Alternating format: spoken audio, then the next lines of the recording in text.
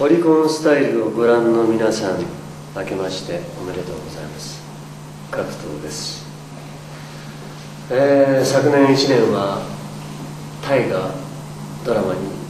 ずっと時間を費やしてしまったそんな1年でした、えー多くのことを学びました。多くのことを勉強してそしてたくさんのものを盗んでそして今年の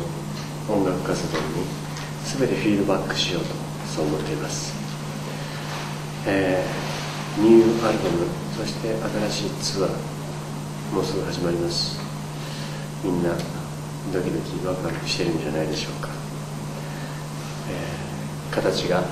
見えてきたら発表になります。お楽しみに。そんなわけで